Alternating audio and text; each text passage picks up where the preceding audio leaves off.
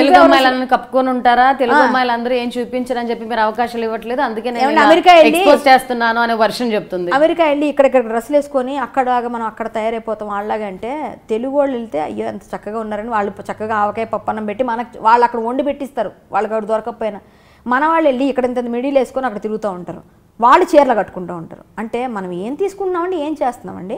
మనం తెలుగు వాళ్ళమండి దానికి ఒక విలువ ఉందండి. తెలుగు అంటే మన కృష్ణవేణి మన గంగమ్మ మన ఉగాది పచ్చడి మనకంటే ఎన్ని ఉన్నాయి అసలు చెరుకు మనకు చెరుకు తింటాం మనం మనం అవన్నీ పెట్టుకుంటాం పూజలు చేస్తాము ఆ చెరుకు గడ అలా పెట్టి లలితమ్మ వారి ఫోటో పెడతాము విగ్రహాలు పెట్టి మనం ఆరాధిస్తాము. ఇవన్నీ ఉన్నాయి. మన తెలుగులో సంస్కృతి సంప్రదాయం ఉంది. దాన్ని మనం కాపాడకుండా బూతులు మాట్లాడతాము మాట్లాడి ఇది చేస్తాము బట్టలు ఇప్పేస్తాము అవి చేస్తామంటే ఇది మన తెలుగు వాళ్ళ సంస్కృతి కాదు. అప్పుడు మరి తెలుగు వాళ్ళ ఇది ఏమైంది? పరువు పోయినట్టే కదా.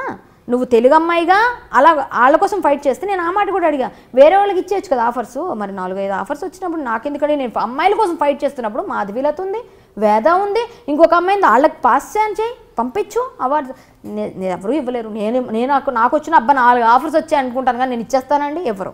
ఎవరు ఎవరు? అది స్వార్థమే ఉంటుంది. అంటే కేవలం నీ పబ్లిసిటీ కోసం నువ్వు చేస్తావు ఇదంతా.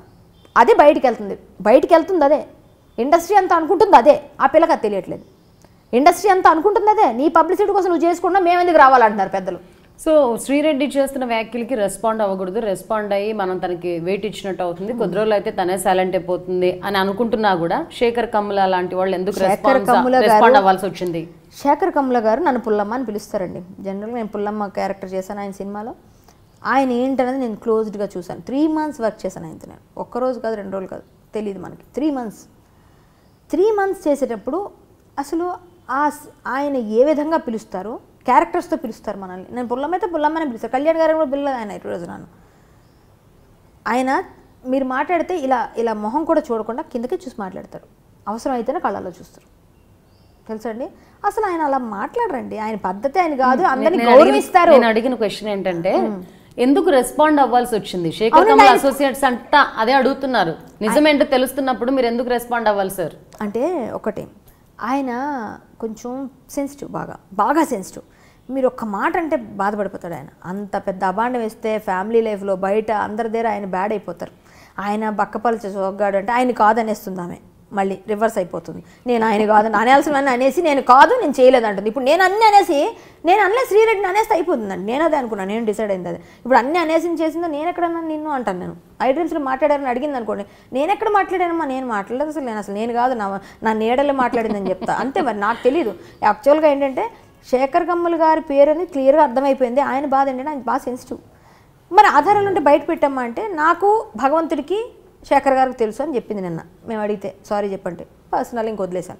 కానీ ఆయన నేను పర్సనల్గా చూసిన అమ్మాయిగా నే నాకు తెలుసండి నన్ను ఎవరు ఎందుకు అంటారంటే మీరు కరాటే వచ్చు కదా అందుకు అనరేమో అని అంది ఆమె అది కూడా. ఆమె కాదు బయట వాళ్ళు కూడా అంటారు. నేను మొహం మీద కొట్టినట్టు మాట్లాడతానండి. "ఆ, ఏం నమస్కారం అండి అంటాను. ముందు వాళ్ళు మాట్లాడితే నమస్తే అండి. సార్ ఏదైనా మామూలు డైలాగ్ ఇచ్చారు డైలాగ్ చెప్పేస్తాను. వెళ్ళిపోయి నా పని నేను చూసుకుంటా. నేను వాళ్ళకి అవకాశం ఇవ్వను మాట్లాడను నేను వాళ్ళతో మాట్లాడను. సార్ మీ ఫోన్ నెంబర్ ఇవ్వండి అని అడగను. నేను ఏమీ చేయను. నాకెందుకు అడుగుతారు ఎవరన్నా? ఈవిడితో ఎందుకురా బాబు? ఏం మాట్లాడినా పెద్ద పెద్దలవారు కూడా కదా కొంచెం. ఏమైనా మాట్లాడితే ఏమైనా అంటదేమో అని చెప్పి అంటున్నాను అదే విధంగా అందరూ ఉండలేరు. మీరు అన్నట్టు కొంచెం వాళ్ళ అవకాశాల కోసం వాళ్ళు కూడా ట్రై చేసిన వాళ్ళు ఉంటారు. వాళ్ళు ట్రై చేసి వీళ్ళని ట్రాప్ చేసి వీళ్ళకేమో ఒక ఒక సినిమా చూపిస్తారు. నువ్వు చెయ్యవా? నేను బయట పెడతా. ఇప్పుడు ఫ్యాషన్ అయిపోయిందండి. ఈ వాట్సాప్ చాట్లు తొక్కల వీడియో చాట్లు వచ్చి ఓకే.